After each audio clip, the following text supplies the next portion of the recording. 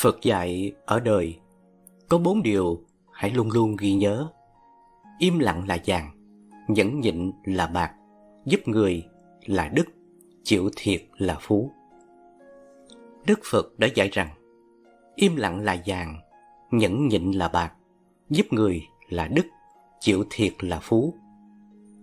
Sống trong đời, ai làm được những điều dưới đây thì cuộc sống sẽ viên mãn.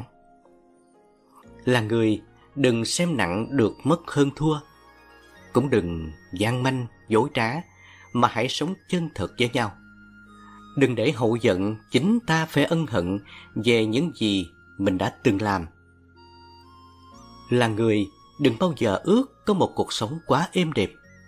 Bởi nếu như thế, bạn sẽ chẳng thể hiểu được rằng cuộc sống muôn dị đắng cay, tuổi hờn, hạnh phúc hay khổ đau đều đáng quý như nhau. Những thứ không phải là của mình thì đừng cố gắng níu kéo. Những thứ của mình thì hãy học cách giữ thật chặt. Bởi bạn biết không, càng cưỡng cầu bạn càng khổ hạnh, càng hơi hợp, đời bạn càng thê lương. Hãy bằng lòng với những gì mình đang có, học cách sống vui vẻ với thực tại thay vì mơ mộng những thứ viễn vông.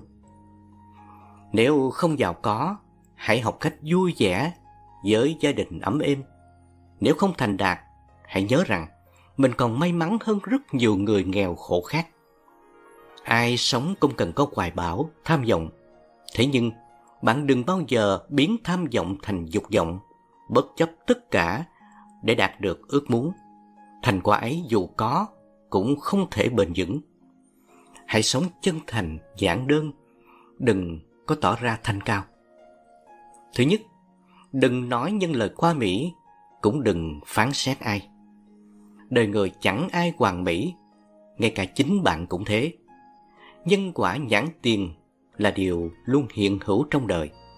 Nếu sống hiền lành, chắc chắn bạn sẽ gặp điều thiện lương. Nếu sống gian manh, chắc chắn bạn sẽ gánh lấy lọc lừa. Mỗi người có một số phận riêng, thay vì ngõ lên để so bì với những người hơn mình mà oán trách số phận không công bằng. Sao bạn không nhìn xuống để thấy rất nhiều người còn khổ nhục hơn ta? Câu nói đức năng thắng số quả không sai. Người kiên định phúc đức chắc chắn họ sẽ vẫn bình yên thanh thản. Người mánh khóe, điêu ngoa sẽ gặp đủ gập ghềnh trong đời. Khi nhận ra chân lý của chữ nhẫn, bạn sẽ hiểu được rằng chịu thiệt chính là cách giúp bạn giữ đức. Chịu nhẫn chính là cách để bạn dưỡng tâm. Đúc tâm đức tròn đầy, bạn sẽ thấy đời thanh thản khi ta biết nhận lấy thua thiệt về mình. Thứ hai, im lặng làm vàng, nhẫn nại là bạc. Đôi co với người khác chỉ rước thêm phiền toái và khẩu nghiệp vào người. Thiếu kiên nhẫn sẽ làm bạn mất kiểm soát trước sóng gió, đưa ra những quyết định sai lầm, ảnh hưởng đến đại sự. Trước khi lên án hay mắng nhiếc bất cứ một ai, hãy thử đặt mình vào vị trí của họ để nghĩ xem mình sẽ tổn thương và xấu hổ đến như thế nào. Đời người không ai biết được chữ ngờ. Sóng gió sẽ xô bạn từ bất ngờ này đến ngỡ ngàng khác. Lên voi xuống chó là chuyện hiển nhiên. Chẳng ai đoán trước được tương lai, nên đừng dội tự mãn. Hết tình thì còn nghĩa, đừng cạn tàu ráo máng. Bởi hận hay yêu đều là số phận, nhìn thấu sẽ hết hận. Cuộc đời con người chỉ gói gọn trong hai từ sinh tử. Khoảng giữa ấy là thời gian ta trả nợ ân tình với những người ta gặp trong đời. Duyên phận một kiếp người, dù là ác duyên hay là duyên lành, đều có an bài. Không cầu tức là không có dục vọng.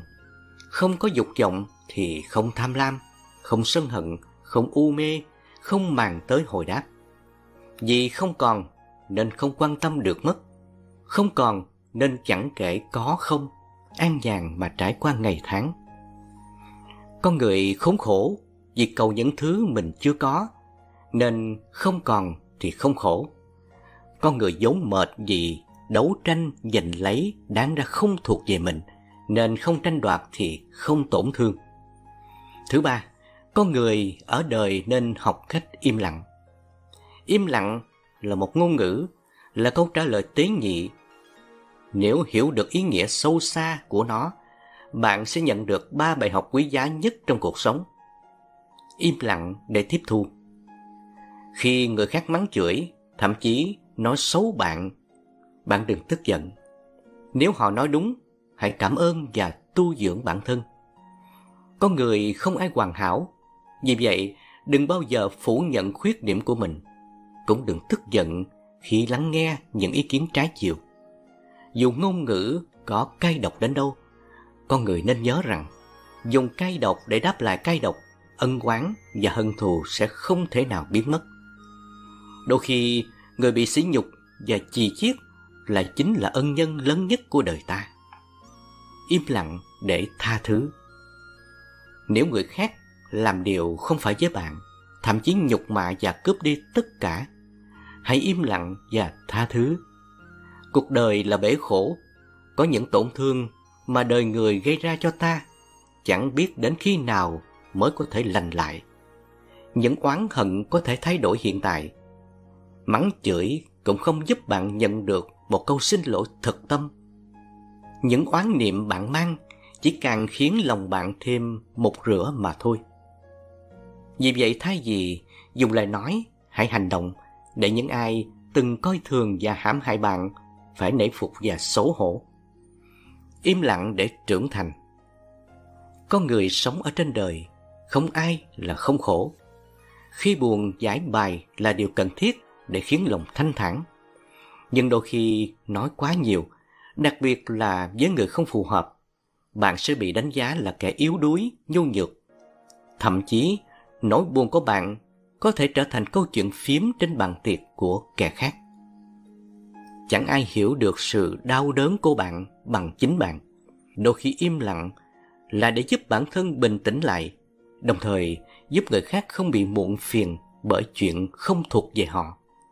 Và bỏ cái tôi sang một bên, an lạc, ngắm nhìn cuộc sống, chấp nhận thiếu sót của bản thân, tha thứ cho mọi nỗi phiền muộn. Đó là giá trị cốt lõi của im lặng. Khi làm được điều đó, đồng nghĩa bạn đã thực sự trưởng thành. Trong cuộc sống của chúng ta có rất nhiều việc, có rất nhiều điều khiến chúng ta cảm thấy mệt mỏi hay có những sự bất công, uất ức. Tuy nhiên, đôi khi im lặng là vàng. Cũng giống như lời Phật dạy, im lặng là một câu trả lời hay nhất cho sự phỉ bán. Thứ tư, tình huống rồi im lặng có giá trị hơn lời nói cả ngàn lần. Im lặng là cách tốt nhất để biết bạn biết mình là ai. Khi bị xem nhẹ, đừng nói lời oán giận. Hãy nhớ rằng trên đời này, người thực sự không coi thường bạn chính là người quan tâm đến bạn.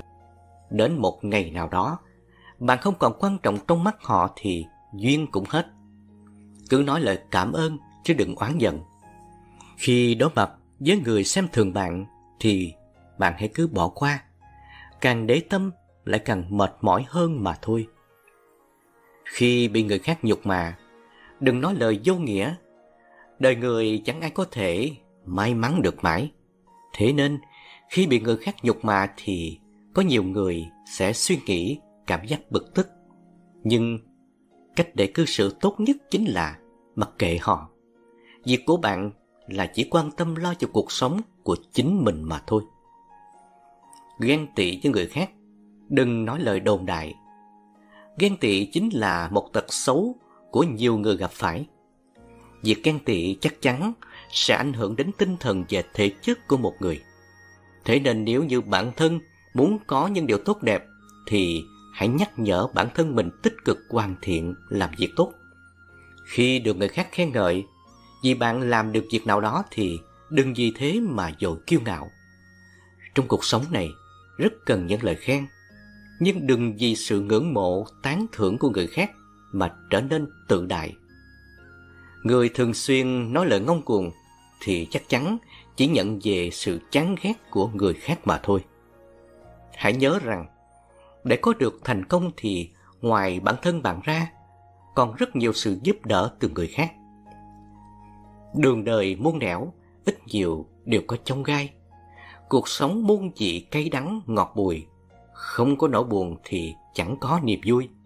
Vậy nên, sống ở đời có những lúc lực bất tòng tâm, thì hãy tùy tự nhiên, ấy cũng là thuận với đạo làm người. Có những người không thể cưỡng cầu, cười nhẹ, bỏ qua. Có những con đường không thể không đi thì cần chi phải ngại. Khi không có mặt trời thì học cách hưởng thụ sự mát mẻ của gió mây. Khi không có hương hoa thì hãy học cách cảm thụ sự nồng hậu của mặt đất. Tham vọng nhiều thì mệt, biết đủ thì thỏa mãn. Cuộc sống gặp gềnh, nhưng chân thành mới là bến đỗ. Mắt khẽ cười mới có thể thấy được cảnh đẹp của trời đất. Tâm đơn giản mới thấy đời mộc mạc. Đời người trăm ngàn sắc thái, nhưng thành thực, giản đơn lại là điều tốt đẹp nhất. Cuộc sống cũng giống như cuốn sách, con người tính cách khác nhau, sách cũng khác nhau. Tuổi trẻ thì như mưa rào gió lớn, lúc dậy già thì như bọt nước mưa thu. Đời là bể khổ, nhưng kiên trì sẽ biến khổ thành vui. Người gian dối lấy chân thành cảm hóa kẻ hung hăng thì từ bi quá độ. Nhẫn nại là tu hành, khổ đau là một quá trình mà kết quả chính là sự thăng hoa. Thế nên, bất luận là như thế nào, nghịch cảnh hay thuận cảnh, chúng ta đều cần sự nhẫn nại. Cái nhẫn không chỉ là dạng sự hòa hợp, mà còn là nền tảng để trí tuệ sinh ra. Nhẫn cũng không phải là sự nhu nhược mà thể hiện của bậc thánh nhân. Chịu thiệt thì dẫn đức, mà chịu nhẫn thì dưỡng tâm. Từ cổ chí kim, những người thành đại sự không một ai là không thắng ở chữ nhẫn này. Câu tiễn nằm gai nếm mật, chịu kiếp nô lệ 10 năm, hàng tính cam chịu nỗi khổ nhục, chui hán. Tăng quốc phiên có câu danh ngôn rằng Nhẫn được, nhìn sự phiền thu được một tâm sáng. Có thể bạn đang trải qua thời kỳ đen tối, nhìn không thấy phương hướng cuộc đời. Nhưng xin hãy kiên trì thêm một chút nữa, chờ đợi thêm một chút trong quá trình vượt thoát khỏi cái kén, thường sẽ mang đến những thống khổ. Nhưng hãy trở thành một chú bướm thì sẽ nhìn thấy được thế giới tươi đẹp hơn. Im lặng là vàng, nhẫn nại là bạc. Mỗi người đều có một túi phúc riêng của mình. Bạn cho gì vào trong thì sẽ thu được điều tương tự. Mỗi người cũng có một chiếc gương. Bạn đối với gương như thế nào, gương cũng lại đối với bạn như vậy. Nhìn người cũng phải nhìn mình, trách người thì phải hỏi tâm. Cuộc sống là một vở kịch, mà chúng ta là những diễn viên luân hồi dạng kiếp. Gia diễn đổi đời được mất hơn thua, cũng như mây chiều gió thoảng. Không có tiền thì còn có nghĩa, xóa đau thương để đổi lấy tình thương. Yêu và hận chỉ là trò đùa của số phận, nhìn thấu rồi sẽ hết hận, hết mê. Có những lúc vì được mà vui, vì mất mà sầu. Nhưng mất hay được cũng đâu có gì khác biệt. Bởi thế nhân được mất cân bằng, không có mất thì nào đâu có được. Đời người chỉ nằm ở hai chữ sinh tử, cả quá trình là trả nợ cho nhau. Ân quán hết thì đường ai nấy bước. Gặp nhau rồi cũng bởi một chữ duyên.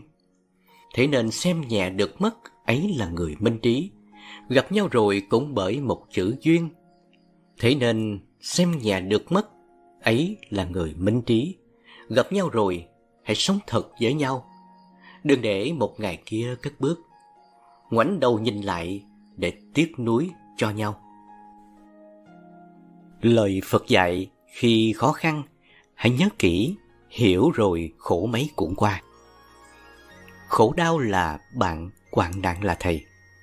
Khổ đau là người bạn chân thực, không giấu giếm, khoe khoang, không màu mè, kiểu cách. Nó trực tiếp thức tỉnh chúng ta phải nhìn lại đời mình, xem những giá trị mình đang theo đuổi có thực sự quan trọng như mình nghĩ hay không.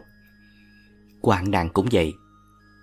Nó đã dạy chúng ta biết dừng lại để nhìn thấy rõ đâu là hạnh phúc chân thực, còn đâu là chân giá trị của cuộc sống.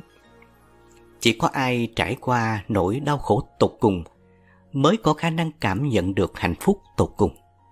Khổ đau đến giống như những ngày mưa gió bão bùng để nhắc nhở chúng ta biết sống và trân quý những ngày nắng đẹp gió hiền.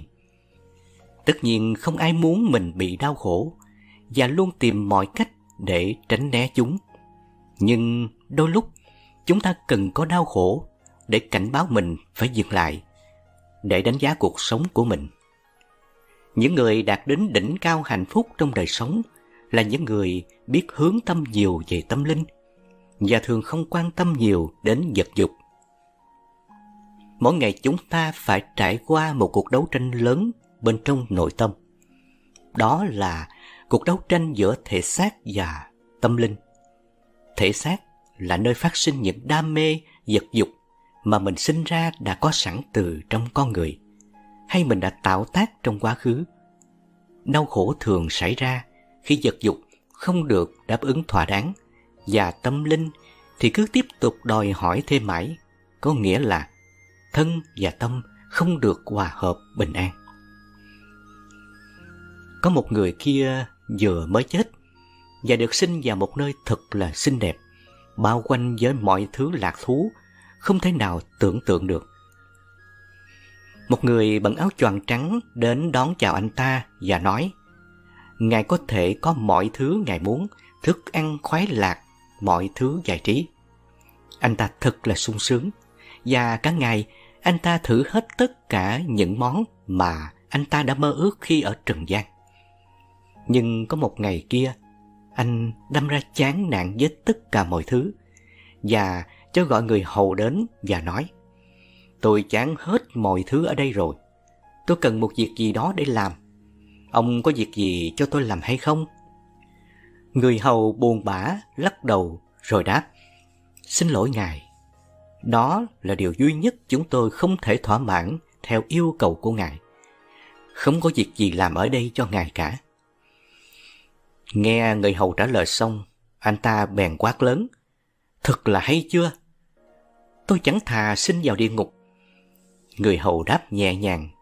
Vậy ngài nghĩ ngài đang ở đâu đây? Theo như câu chuyện cho thấy, nếu sống ở đời mà không có khổ đau thì đời người thật là trống vắng và buồn chán. Điều đáng nói ở đây là tại sao đau khổ lại cần thiết trong đời sống? đau khổ sẽ mang lại lợi ích gì mà mình cần đến nó. Nếu chúng ta tư duy cho kỹ, sẽ thấy tại sao Phật lại nói về khổ đế, tức là sự thật về khổ, là một trong bốn sự thật, tức là tứ đế, trong bài giảng đầu tiên, chuyển Pháp Luân. Tại sao Đức Phật không khởi đầu bằng đạo, có nghĩa là sự thật về đạo? Nhớ lại lịch sử khi Đức Phật còn là Thái tử, trong lúc dạo chơi ngoài thành. Ngài đã trực tiếp nhìn thấy khổ đau. Ngài kinh ngạc phát hiện ra rằng những khổ đau này không chừa một ai cả. Như lời ông Sa Nặc đã trả lời. Hãy làm con người tức là phải có bệnh, có lão già, có tử. Không ai có thể tránh khỏi. Ngài lại càng ngạc nhiên thêm khi thấy hầu như ai cũng mặc nhiên chấp nhận sự thật này và không thể làm một cái gì đó để tránh né. Khổ đau là đầu mối khiến Thái tử Si Đạt Đa ưu tư không dứt và là một trong những nguyên nhân khiến Ngài quyết tâm cầu đạo giải thoát. Nếu tôi nhớ không lầm, thì trong một đoạn kinh văn có mô tả sau khi Đức Phật giác ngộ, Ngài bèn lên đường trở lại núi tuyết để giáo hóa cho năm anh em Kiều Trần Như, như Ngài đã hứa trước khi xuống núi. Trên đường, Ngài có gặp một hành giả du già khổ hạnh. Vị hành giả này thấy Phật tướng hảo, nhưng lại quá sạch sẽ, gọn gàng, trông không giống một vị du già sư, bèn hỏi. Ngài là ai? Tu hạnh gì? Sao trông nhẹ nhàng tự tại vậy? Đức Phật trả lời, ta là Phật, là bậc giác ngộ, đã thấu rõ mọi lẽ sinh diệt của tất cả các pháp trên thế gian nên không còn luân hồi sinh tử nữa. Vị du già sư nghe xong, quay lưng bỏ đi. Ông vừa đi vừa lắc đầu, không tin. Và trong đôi mắt có vẻ thương hại Phật, vì ông nghĩ rằng Phật đã mất trí nên mới dám xưng tụng mình như vậy. Câu chuyện cho chúng ta thấy, nếu Phật chỉ nói về sự giác ngộ của Ngài, thì có lẽ không ai có thể hiểu nổi được. Ngài nói cái gì? Cái mà chúng ta kinh nghiệm nhiều nhất đó là đau khổ. Và chính vì vậy, Đức Phật đã dạy chúng ta cách nhìn thấy sự thật về đau khổ để tìm con đường diệt khổ. Sự thật mà nói, dù chúng ta đã trải nghiệm nhiều về đau khổ, nhưng phần nhiều chúng ta chỉ biết sợ khổ và hầu như ít khi nào học được gì từ nhiều đau khổ. Bằng chứng là chúng ta luôn chạy theo vật dục để kiếm tìm hạnh phúc và cố tránh né càng nhiều càng tốt tất cả những gì mang lại khổ đau.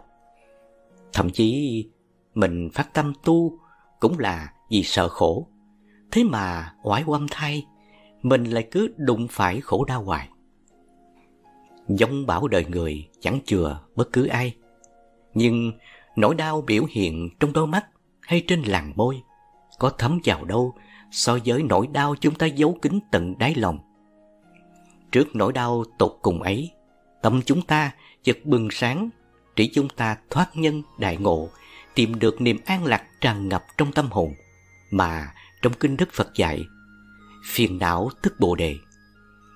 Con người sinh ra hiện hữu trên cuộc đời này, có hàng ngàn, hàng dạng nỗi đau khổ khác nhau, nhưng chung quy không ngoài hai thứ. Thứ nhất, đau khổ về tinh thần. Do hoàn cảnh bên ngoài tác động như làm ăn thất bại, người khác ganh tị, quấy nhiễu, chồng ngoại tình, con bất hiếu, ăn chơi trác tán, nghiện xì ke, hút chích, hay nghĩ tới những hiện tượng thiên nhiên như bão lụt, động đất, sóng thần mà băn khoăn, làm cho tinh thần người ta bất an, lo lắng, sợ hãi ngày đêm. Thứ hai là đau khổ thân thể. Bị bệnh tật hành hạ dày dò, bị đánh đập hay bị tai nạn khiến cho thân thể đau đớn, ăn không ngon, ngủ không yên. Tất cả những nỗi khổ ở cõi ta bà này ai cũng nếm trải qua. Nếu chúng ta không hiểu Phật Pháp, không biết tu tập thì than thân trách phận. Có người tìm đến cái chết, có người tìm cách báo thù kẻ đã gây ra đau khổ cho mình. Nhưng chúng ta càng oán hận thì vết thương lòng càng sâu, nào có ích gì. Còn chúng ta biết tu học, có thực hành theo lời Đức Phật dạy, làm chất liệu trong cuộc sống, hiểu rõ nhân quả báo ứng, chỉ tự trách mình, nên biết chuyển hóa nỗi đau khổ thành giải thoát an lạc ngay trong cuộc sống. Điều mà Đức Phật đã thuyết giảng suốt cuộc đời giáo hóa của Ngài. Lúc này, chúng ta như đóa sen thơm ngát, dương lên từ bùn lầy nước động, nở hoa, tô thấm giữa cuộc đời. Thực ra, khổ đau không phải lúc nào cũng là tiêu cực, đáng chán, đáng sợ. Ngược lại, có nhiều lúc chúng ta cần có đau khổ để thức tỉnh bản thân. Như vậy, đau khổ là một vị thầy nhắc nhở chúng ta phải biết hồi đầu hướng thiện. Cho nên, trong hai câu đầu của 10 điều tâm niệm, Phật dạy. Câu thứ nhất, nghĩ đến thân thể thì đừng cầu không bệnh khổ, vì không bệnh khổ thì dục vọng dễ sinh. Thứ hai, ở đời đừng cầu không hoạn nạn, vì không hoạn nạn thì kêu xa nổi dậy. Phật dạy rằng, khi mình thực sự cảm nhận được nỗi đau khổ trực tiếp, chúng ta ngay lập tức buông bỏ, cũng giống như khi mình cầm lên cái chảo sắt đang nóng bỏng, sẽ khiến mình rút tay lại. Khi chúng ta cảm thấy cái đau khổ cùng cực, mình sẽ muốn được giải thoát khỏi chúng ngay. Vì mình học được từ tuệ giác nằm bên trong mỗi kinh nghiệm, đặc biệt là càng thống khổ thì tuệ giác càng sâu. Nhờ có chánh tri kiến, chúng ta thấy rằng ai cũng cần có khổ đau. Vì khổ đau là một liều thuốc đắng giúp trị lành những căn bệnh bất trị. Chúng ta cảm thấy khổ đau không phải là một cái gì thật đặc biệt. Ai cũng đã từng trải nghiệm khổ đau, bất kể kẻ sang người hèn. Cứ mỗi lần kinh nghiệm với khổ đau, chúng ta lại thấy được nhiều điều giá trị. Và nếu chúng ta biết dừng lại, quán chiếu những kinh nghiệm đó, chúng ta sẽ tìm thấy tuệ giác ngay chính trong kinh nghiệm khổ đau đó. Do đó, khổ đau không còn là kẻ thù mà có thể nói là một người bạn. Tuy khó tính nhưng rất chân thực mà ai cũng cần phải có để giúp mình tu tập chuyển hóa. Vì thế, chúng ta phải cảm ơn đau khổ. Nhờ đau khổ mà tâm của chúng ta rộng mở nhiều hơn, biết quan tâm, chia sẻ đến những mảnh đời bất hạnh và có cơ hội để chúng ta tu tập hạnh nhẫn nhục. Đau khổ là con đường mà ai cũng phải trải qua. Chỉ có khác nhau giữa kẻ mê và người ngộ. Mê thì trầm luân sanh tử, ngộ thì thấy được niết bàn giải thoát, an lạc. Đau khổ chướng ngại và sai lầm thực sự rất hữu ích đối với cuộc sống của chúng ta. Bởi vì chúng ta có thể học hỏi từ chúng rất nhiều và nếu không có chúng sẽ không có thành công. Khi bạn khó khăn và cố gắng để tìm ra hướng giải quyết thì ngay lúc ấy bạn sẽ khám phá ra năng lực và sức mạnh bên trong của bạn. Vì vậy, chỉ khi nào trải qua đau khổ, bạn mới có thể trưởng thành thực sự. Cuộc sống không phải lúc nào cũng màu hồng như chúng ta mong đợi, mà đó là một loạt những khó khăn, thử thách cần phải vượt qua. Có khi bạn thành công, nhưng cũng lắm khi bạn thất bại.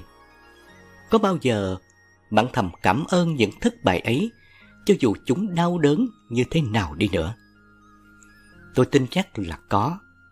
Vì chính những vấp ngã thất bại ấy đã giúp bạn trưởng thành được như ngày hôm nay. Không vấp ngã thì không thể trưởng thành.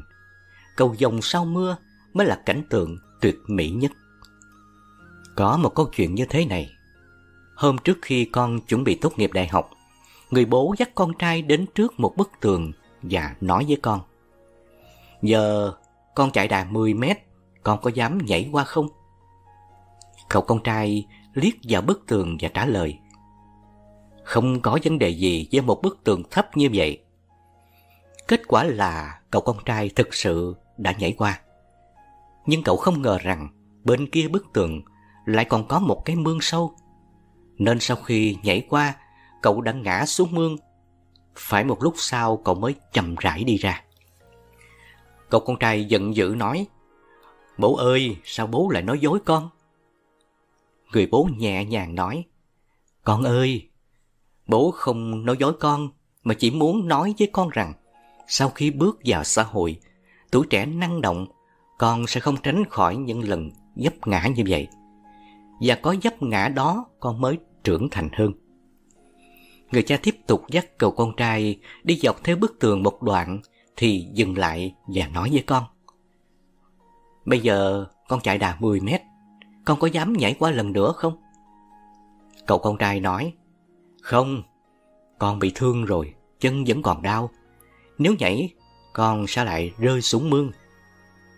Người cha cười nói, lần trước thiếu thận trọng, lần này thiếu dũng khí. Trong cuộc sống muốn thành công, không thể tránh khỏi dấp ngã. Và khi còn không coi dấp ngã là thất bại nữa thì thành công mới thực sự đến với con. Đúng vậy, dấp ngã là quy luật cuộc sống mà hầu như ai cũng hiểu, nhưng không phải ai cũng biết cách vượt qua. Có người không bao giờ trưởng thành được, bởi lẽ họ luôn được sống trong sự che chở, bao bọc của gia đình, không bao giờ phải đối mặt với khó khăn, thử thách. Chính vì vậy, khi gặp thất bại, họ lại sợ hãi lùi bước bi quan. Họ đâu biết rằng bản thân mình không có ý chí đã tự nhận lấy sự thất bại đáng xấu hổ nhất. Ý chí dù hơi hợt đã là không tốt, nhưng phó mặc cho số phận, cho cuộc đời, không chịu nỗ lực còn đáng phê phán hơn. Mỗi lần dấp ngã là một bài học. Nhấp ngã dường như là điều quen thuộc trong cuộc sống của mỗi người. Ngay từ khi mới chập chững biết đi, bạn đã phải nhấp ngã rất nhiều lần, thậm chí chảy cả máu chân tay thì mới có được những bước đi, bước chạy vững vàng hơn. Rồi đến khi đi học, đi làm, càng về sau, bạn càng có nhiều dấp ngã trong công việc, học tập, rồi cả những chuyện tình cảm cá nhân. Thực sự, ban đầu, có những cảm xúc vô cùng đau buồn, thất vọng và chán nản. Bạn có cảm giác như là cả thế giới đang quy lưng lại với bạn mọi thứ và muốn chống đối với bạn. Khi sự kỳ vọng của bạn vào công việc đó, con người đó không được như ý muốn, lúc này thời gian sẽ là liều thuốc hữu hiệu cho bạn. Sau quãng thời gian khó khăn ấy, về mặt cảm xúc, bạn cần phải vượt qua. Bạn sẽ cảm thấy mình trưởng thành hơn, mạnh mẽ hơn. Nếu giờ có gặp phải dấp ngã ấy, chắc chắn bạn sẽ có cách giải quyết thông minh để không phải dấp ngã lần thứ hai trong cùng một vấn đề. Và cứ như vậy, sau mỗi lần dấp ngã, bạn lại đúc rút được cho mình một bài học kinh nghiệm để lần sau làm tốt hơn. Những bài học này vô cùng quý giá hơn nhiều những bài học lý thuyết. Nó giúp bạn hiểu được bản thân mình, hiểu được sự lựa chọn của mình là đúng hay sai, để con đường tiếp theo của mình sẽ làm tốt hơn. Thành công là khi bạn trải qua nhiều giáp ngã. Nếu ai hỏi tôi về thành công là gì, thì tôi sẽ trả lời rằng thành công là khi bạn trải qua nhiều giáp ngã. Thực tế đã chứng minh không có ai thành công mà không phải đi qua nhiều lần thất bại và dấp ngã cả. Các doanh nhân càng thành đạt thì họ lại càng phải trải qua nhiều thất bại hơn người thường. Đơn giản dễ hiểu hơn là khi bạn thất bại nhiều lần, bạn đúc rút được nhiều kinh nghiệm và bài học cho mình. Bạn sửa sai trong những lần tiếp theo và cứ như thế, những cái sai của bạn dần dần được sửa, dần được hoàn thiện sau nhiều lần dấp ngã, cho đến khi bạn làm đúng và chạm đến mục tiêu của mình. Vậy nên, cứ sai đi khi cuộc đời cho phép và hãy học cách nhận ra bài học để sửa sai trong những chặng đường tiếp theo. Và cũng đừng buồn chán hay là gục ngã khi bạn thất bại. Hãy cảm ơn nó, hãy yêu thương vì nó chính là thành công của bạn sau này. Biết ơn giáp ngã giúp bạn sống tích cực hơn. Khi đã hiểu được những giá trị mà những thất bại và dấp ngã mang lại cho mình, bạn sẽ thay đổi được thái độ đối mặt với chúng. Thay vì cứ mãi đau khổ, chúng ta nên tích cực nhìn nhận, tìm ra giải pháp mới, sửa chữa lỗi sai thất bại. Nguyên tắc đầu tiên khi bạn giải quyết một vấn đề đó chính là nhìn nhận chúng với một thái độ tích cực nhất có thể. Khi tâm trạng ổn định, bình tĩnh lại thì bạn mới có những giải pháp và cách làm đúng đắn nhất. Rèn luyện được cách sống tích cực và lạc quan như thế này sẽ giúp chất lượng cuộc sống của bạn trở nên tốt hơn, hạnh phúc hơn rất nhiều. Vậy nên, chúng ta cần biết ơn những dấp ngã thất bại. Chính chúng giúp bạn có một cuộc sống lạc quan hơn. Thái độ tích cực tỏa ra từ lòng biết ơn thực sự mang lại nhiều lợi ích to lớn cho chúng ta. Nó giúp ta vượt qua những lúc tồi tệ nhất trong mỗi lần thất bại. Nó cũng giúp bạn học được nhiều điều bổ ích, giúp bạn trưởng thành hơn, thành công hơn trong tương lai. Ngày hôm nay, chúng ta hãy nhìn lại những vấp ngã khó khăn và thầm cảm ơn chúng vì đã giúp chúng ta có được như ngày hôm nay. Vấp ngã thất bại sẽ là người giáo viên tốt nhất dạy ta có những bài học cần thiết cho cuộc sống. Một khi bạn thực sự để tâm vào bài học sau mỗi lần chấp ngã này, bạn có thể học được rất nhiều điều quý giá từ chính trải nghiệm của mình. Nhấp ngã không phải là thất bại, mà là dừng lại cho đỡ mỏi chân. Mọi nỗ lực của chúng ta và những dấp ngã ngày hôm nay lại mang đến cho chúng ta một bài học, một kinh nghiệm quý giá giúp chúng ta trưởng thành hơn. Tuổi trẻ nếu không có những lần vấp ngã, sao có thể trưởng thành? Tuổi trẻ nếu không có những trông trên thì cuộc sống sẽ mãi bình lặng, đâu còn ý nghĩa gì. Thế nên, ta luôn phải mạnh mẽ, kiên cường để bước tiếp. Đừng vì những khó khăn nhỏ nhoi mà dừng bước. Và đừng bao giờ để những ước mơ khát vọng trong bạn dục tắt. Tục ngữ có câu, thất bại là mẹ thành công. Một mũi tên muốn lao đến đích trước khi về phía trước, thì nó phải kéo về phía sau, lấy sức tiến lên. Cuộc sống của chúng ta cũng vậy. Những lúc ta dấp ngã sai lầm thất bại là lúc chuẩn bị tinh thần, động lực về phía trước.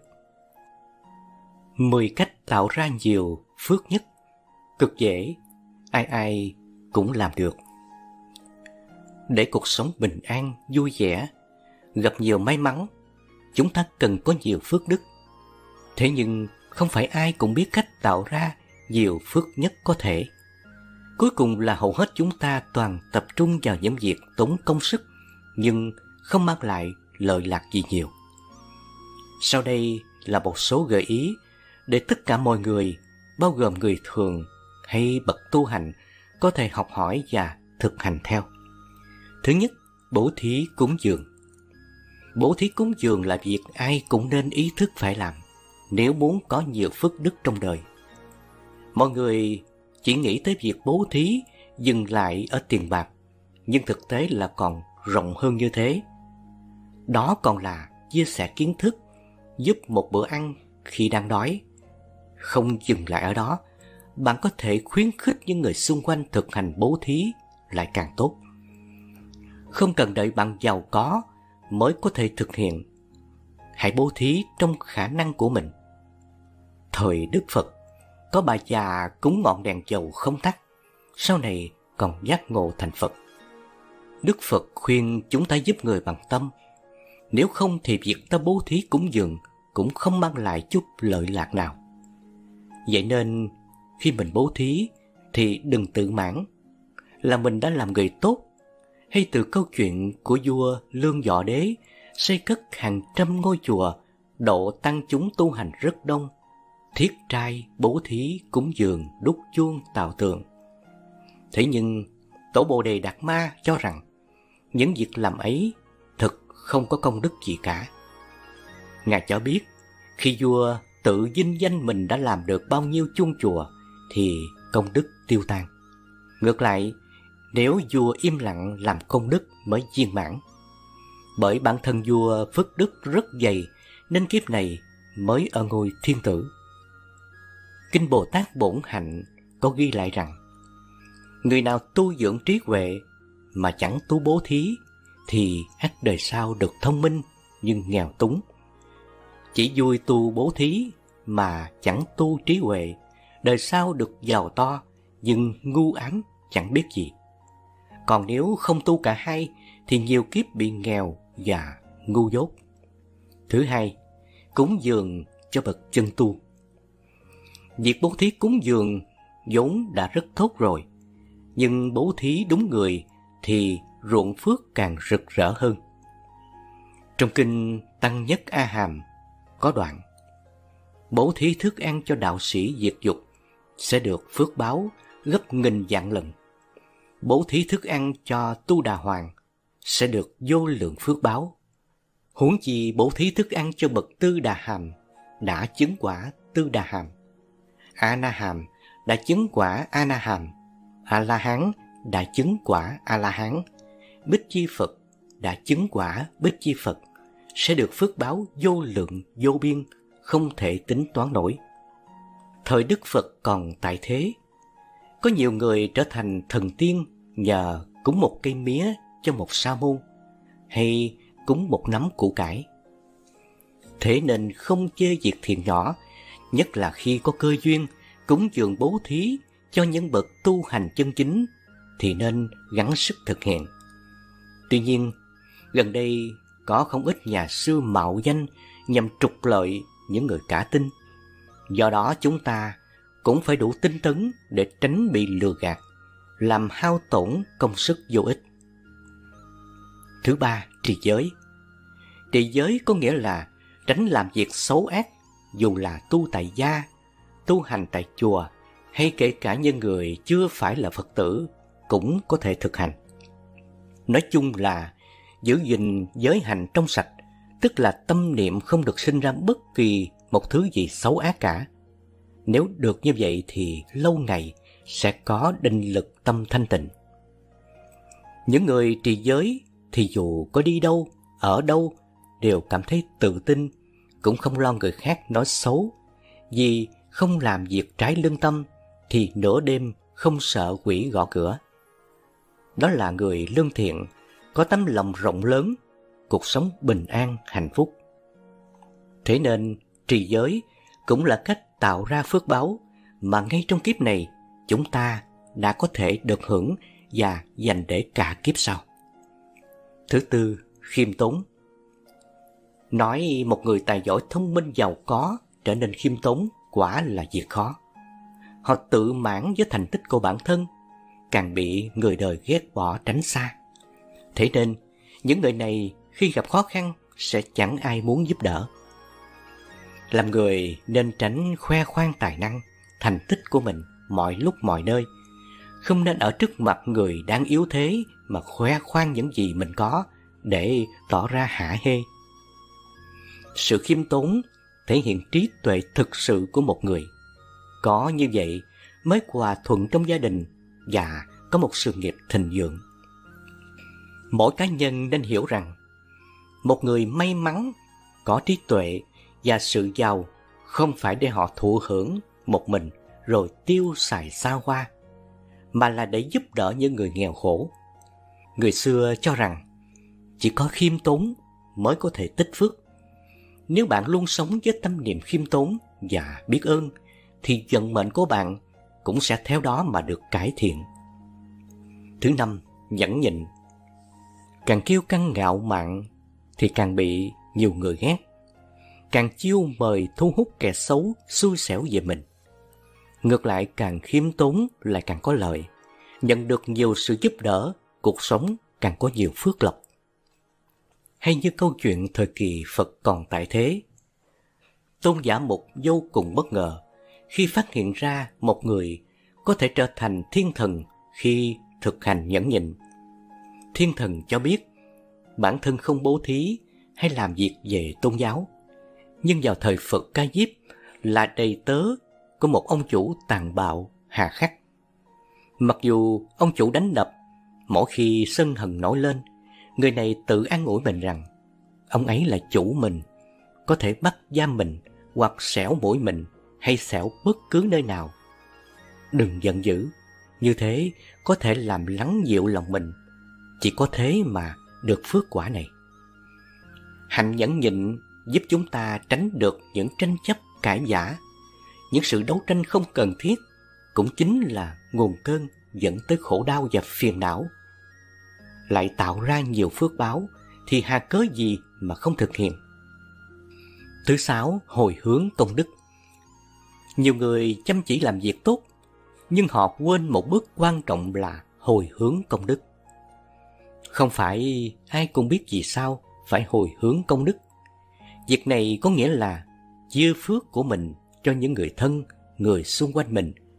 Điều quan trọng là phước đức không bị mất đi mà còn gia tăng gấp bội. Việc này được Đức Phật ví như việc một ngọn nến đang cháy dùng để thắp các ngọn nến còn lại giúp toàn bộ ngọn nến cùng sáng tạo nên một không gian lung linh trong khi đó ngọn nến cũ không hề bị thiệt thòi gì cả. Điều này có nghĩa là nếu bạn càng có thể chia sẻ phước lành với người khác thì phước lành đó sẽ tồn tại lâu hơn và vô tận.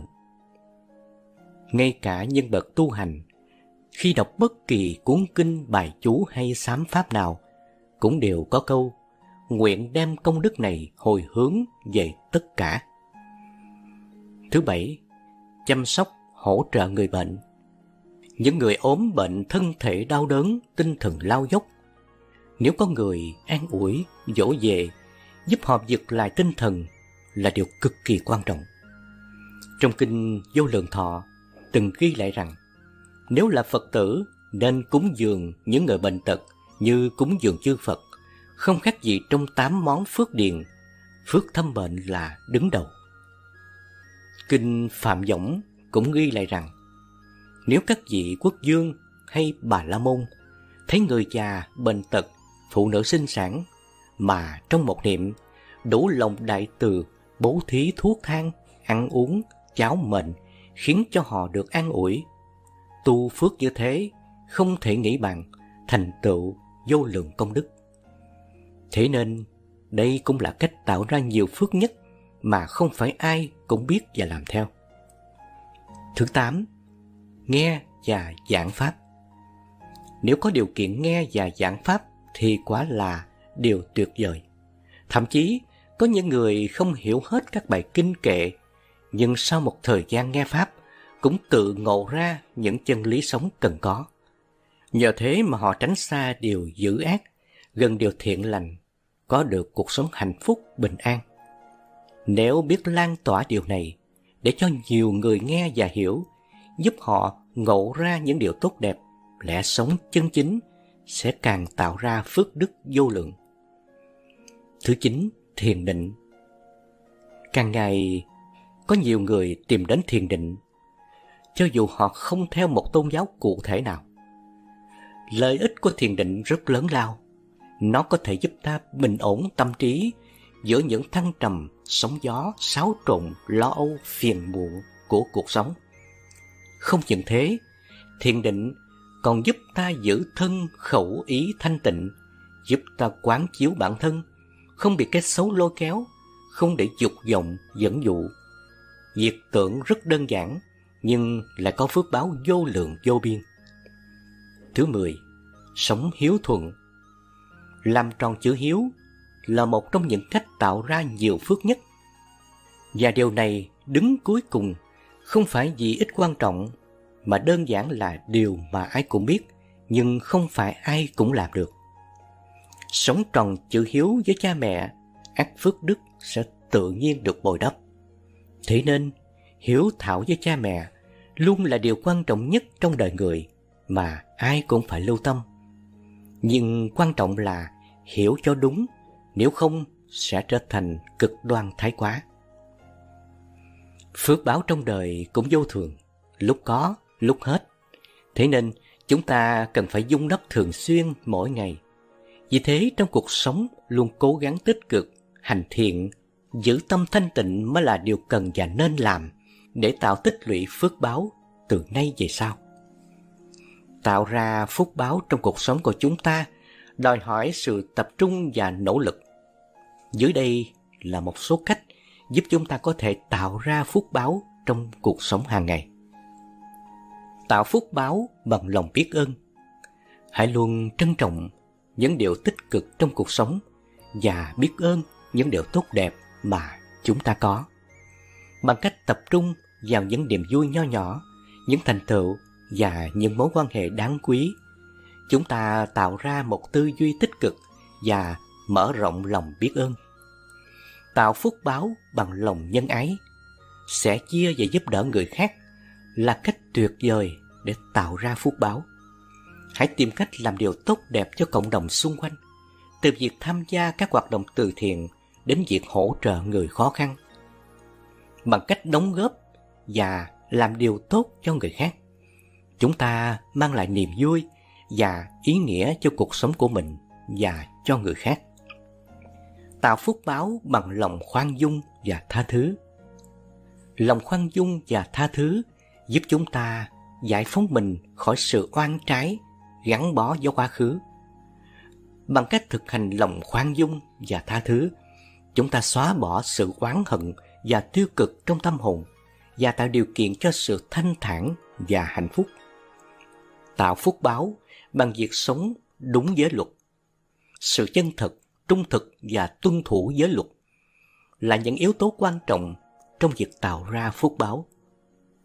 Bằng cách sống đúng giới luật, chúng ta tạo ra sự cân bằng và hài hòa trong cuộc sống và tránh những hậu quả tiêu cực của hành động sai trái. Tạo phúc báo bằng việc tu tập và rèn luyện tâm hồn. Qua việc tu tập và rèn luyện tâm hồn, chúng ta nâng cao sự tỉnh thức và nhận thức của mình bằng cách thực hành thiền định, học tập và áp dụng những nguyên lý Phật Pháp vào cuộc sống hàng ngày. Chúng ta tạo ra sự thanh thản và hạnh phúc sâu sắc. Tạo ra phúc báo trong cuộc sống không chỉ là sự nhận thức mà còn đòi hỏi hành động và ý thức. Bằng cách thực hiện những cách trên và mang lại lợi ích cho bản thân và những người xung quanh, chúng ta tạo ra phúc báo trong cuộc sống và điều hướng đến một tâm linh và đạo đức cao hơn. Hầu như ai trong chúng ta cũng đã từng nghe đến hai từ nhân và quả. Nếu làm lành thì sau này sẽ hưởng một quả báo an lành an vui và hạnh phúc. Ngược lại, nếu làm việc ác thì quả báo đau khổ, trầm luân sẽ không thể nào tránh khỏi. Nhân quả là quy luật vận hành tự nhiên của dạng vật và vũ trụ, không phải do trời đất, Phật hay một đấng tối cao nào tạo lập, và cũng không một ai có thể can thiệp được. Xưa nay giống dĩ như vậy, rất bình đẳng. Một người gây tội ác có thể lọt lưới pháp luật thế gian, nhưng không thể nào thoát được nhân quả và báo ứng. Nhân gian thường nói, ở hiền thì gặp lành, và gieo gió ác sẽ gặp bão. Hay là, nếu muốn biết quá khứ, hãy nhìn hiện tại. Nếu muốn biết tương lai ra sao, thì hiện tại sẽ trả lời, cũng là đạo lý về nhân quả vậy. Luật nhân quả là luật của vũ trụ, không phải là luật của thần hay Phật. Thực ra, nhân quả rất sâu xa, không dễ gì hàng phàm phu chúng ta có thể hiểu hết được, mà ngay đến cảnh giới của Bồ Tát vẫn chưa thể thấu suốt. Kinh dạy, Bồ Tát sợ nhân, chúng sinh sợ quả. Bồ Tát làm việc gì cũng sợ lỗi lầm, làm việc gì cũng cân nhắc trước sau rồi mới làm để tránh đi những quả báo đau khổ về sau. Chúng sinh phàm phu thì ngược lại, đôi khi biết việc là sai mà vẫn cứ làm, nên đã gây ra bao ác nghiệp phải đọa lạc trầm luân trong khắp nẻo khổ đau của luân hồi. Trong nhà Phật cũng thường nói, dạng pháp giai không, nhân quả bất không. Thăng lên hay đọa lạc, phàm phu hay thành Phật cũng không ngoài nhân quả. Gần đây cũng có người vì chưa hiểu sâu về nhân quả, nên tuy lúc đầu cũng đi chùa, làm thiện, nhưng khi gặp chuyện bất trắc, nghịch cảnh đến trong cuộc sống thì liền sinh tâm than trời trách Phật, không linh, nên không tiếp tục đến chùa hay làm việc thiện nữa, thì quả thực rất đáng tiếc. Bất trắc hôm nay đến là nó phải đến, kể cả chúng ta có làm việc thiện hay không làm, cúng chùa hay không cúng chùa. Nhưng vì kiếp trước đã làm quá nhiều việc ác nên kiếp này phải trả. Còn những việc làm thiện lành hôm nay thì kiếp sau hay cuối đời này mình mới được hưởng. Vì nhân quả là thông cả ba đời, quá khứ, hiện tại, vị lai. Nên có hiện báo, tức là thấy ngay trong kiếp này. Sinh báo, tức là kiếp sau mới thấy. Và hậu báo, tức là những kiếp lâu xa về sau, khi hội đủ duyên mới thấy. Hơn nữa, phải xem lại trước đây chúng ta đã làm ác, ăn ở thức đức như thế nào. Và nay, mình đã làm thiện được bao nhiêu? Mới dây mười, mới trả có ba, mà đòi xóa hết nợ, xem sao cho hợp, phải không thưa các bạn? Nói làm thiện để trả lại chỉ là cách nói an ủi mà thôi. Chứ làm thiện thì có thiện báo, ác sẽ có ác báo, giống không thay nhau được. Tuy nhiên, chúng ta nên hiểu giữa nhân và quả còn có duyên. Nếu trước đây do vô minh đã tróc lỡ tạo nghiệp ác, nay biết lỗi, sám hối và hứa sẽ không còn tái phạm, và từ đây sẽ không ngừng tu thiện để cắt các duyên xấu, thì quả xấu chưa trổ. Và phát tâm tinh tấn tu hành giải thoát sinh tử để thành thánh nhân, Bồ Tát, Phật với đầy đủ trí tuệ và năng lực để sau này phát đại thệ nguyện, phân thân tái sinh, về khắp nơi trong các cõi mà đền ơn và cứu độ chúng sinh thì mới thật rốt ráo và viên mãn. Xin thưa với các bạn là kiếp này nếu ai may mắn, giàu sang hơn người cũng là do ở kiếp trước đã từng cúng dường bố thí. Nếu bây giờ mà không lo tạo phước tu hành thì kiếp sau phải đói khổ bất hạnh hiểu được đạo lý nhân quả, chúng ta sẽ sống rất tự tại và an lạc ngay trong cuộc sống hôm nay. Vì chúng ta sẽ không làm nhân quả và biết chấp nhận tất cả những gì không may đến với mình. Từ đó mà sám hối và dương lên nỗ lực tu hành, tích cực làm nhiều việc thiện lành hơn nữa, thì tương lai chắc chắn sẽ rất tốt đẹp. Hòa thượng Tịnh Không cũng đã từng nói, lỗi không phải do người khác, lỗi là ở chính mình. Các bạn hãy tự suy gẫm lời dạy này nói đến nhân quả ba đời, quả thực là vô cùng bổ ích. Mỗi khi tiếp người, đối vật và gặp trắc trở trong cuộc sống. Ý nghĩa cội rễ của luật nhân quả Những lời dạy của Đức Phật về luật nghiệp báo hay nhân quả phát xuất từ nơi trí tuệ siêu dược của Ngài. Mà với người trần mắt thịt như chúng ta chắc chắn không thể nào hiểu xuyên thấu về luật nhân quả. Tuy nhiên, qua lời dạy của Đức Phật về luật nhân quả, chúng ta có thể phần nào giải thích tại sao cùng là con người mà có kẻ thì sống trong nhung lụa hạnh phúc, người thì sống trong bừng hàng khổ đau, người thì sinh ra đẹp đẽ, còn kẻ lại chịu khuyết tật khi mới sinh ra. Nếu không có luật nhân quả, nghiệp báo, thì lấy gì để giải thích những tình trạng khác biệt này? Người học Phật cần phải suy xét và chiêm nghiệm tất cả mọi hiện tượng trong bầu vũ trụ báo lá này, từ con người cho đến muôn loài vật đều chịu sự chi phối của nhân quả. Nhân quả có nguồn gốc từ nghiệp báo. Nghiệp là nhân, báo là quả. Nghiệp và quả báo tạo thành luật nhân quả, ngắn gọn là nghiệp quả hay nghiệp báo. Nếu chúng ta tạo nhân nghiệp tốt thì sẽ trổ quả tốt, còn ngược lại, ta gieo nhân xấu thì sớm hay muộn gì chúng ta cũng nhận quả xấu. Chuyện nhân quả cứ thế mà xoay dần thành một vòng tròn không bao giờ chấm dứt. Vì con người cứ tạo nhân rồi trả quả. Trong việc trả quả lại tiếp tục tạo nhân mới và nhân quả cứ thế mà luân hồi. Như vậy, mỗi tác động nhân hay nghiệp với một điều kiện nhất định sẽ sinh ra một quả báo. Một khi quả đó chín, nó sẽ hồi đáp trở lại người đã tạo ra nó. Thời gian để một quả chín mùi có thể kéo dài rất lâu, cũng có khi rất mau. Nghiệp đã gieo thì trăm ngàn kiếp vẫn không mất. Khi đủ nhân duyên, nó sẽ xuất hiện. Ai gây quả ác thì nhận quả ác, ai tạo quả lành sẽ nhận quả lành một cách công bằng không thiên vị. Nếu ta tạo nghiệp tốt, có thể nó mang ngay kết quả trong đời hiện tại, trong đời tái sinh. Nhưng nên nhớ là dù tạo nghiệp tốt hay xấu, đều chịu luân hồi sinh tử. Trong minh thứ ba, lậu tận minh, Đức Phật xác nhận nguyên nhân của luân hồi sinh tử là lậu hoặc. Lậu hoặc chính là nghiệp. Bên trong lậu chứa nhiều mầm tham, sân si. Nó thúc đẩy những hành vi tạo nghiệp. Nó theo chúng ta từ đời quá khứ, hiện tại và tương lai. Mỗi một ngày, chúng ta gây biết bao là nghiệp. Mỗi nghiệp gây ra do tác động của thân, khẩu, ý. Những điều này gây ra nhân quả. Sự linh ứng khủng khiếp của quả báo Quả báo chính là sự đền trả lại những gì chúng ta đã tạo ra ảnh hưởng cho người khác. Hay hiểu theo nghĩa đơn giản là ta làm gì cho ai sẽ được nhận lại, đáp trả lại y như thế. Không trước thì sau, không sớm thì muộn, không kiếp này sẽ kiếp khác.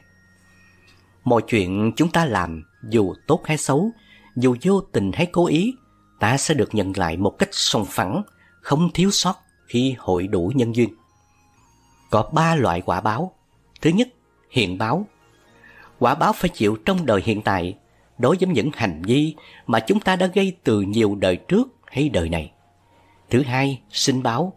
Quả báo phải chịu trong đời sau do hành động của chúng ta làm trong đời này. Thứ ba, hậu báo.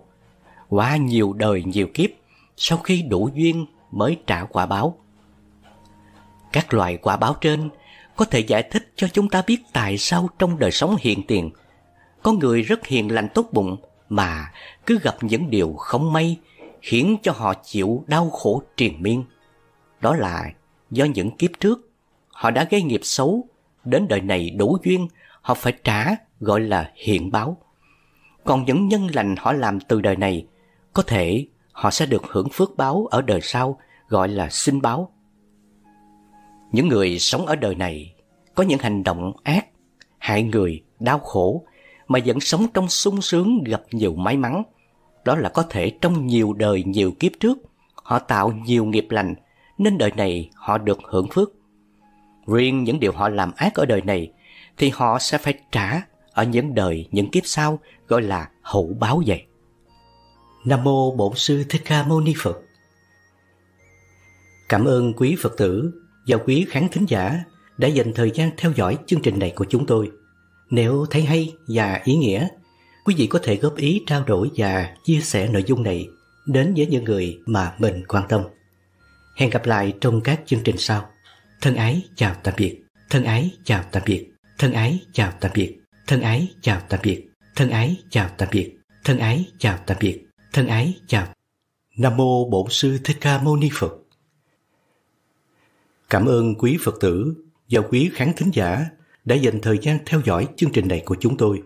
Nếu thấy hay và ý nghĩa, quý vị có thể góp ý trao đổi và chia sẻ nội dung này đến với những người mà mình quan tâm. Hẹn gặp lại trong các chương trình sau. Thân ái chào tạm biệt.